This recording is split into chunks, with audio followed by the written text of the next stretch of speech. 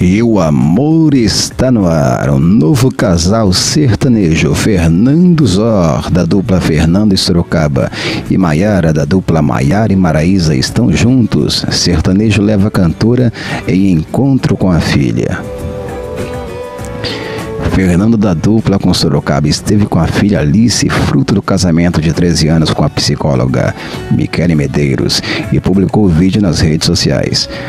A sertaneja também compartilhou o registro no stories do Instagram, mas logo depois apagou o clique da web. Os rumores do romance entre Fernando e Maiara começaram em janeiro, quando viajaram juntos para os Estados Unidos. Depois de protagonizar um selinho em Fernando da dupla, Maiara esteve com o músico e Alice, filha do sertanejo, na tarde desta terça-feira. No stories do Instagram, a irmã de Maraísa compartilhou um vídeo no encontro. Na imagem, a menina de 4 anos aparece brincando com um urso em cima da cama.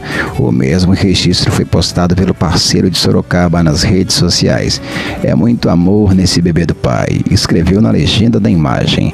Após o fim do casamento com a psicóloga, Fernando tem aproveitado bastante a vida de solteiro, apesar de ter trocado beijos com Carla Dias durante o carnaval.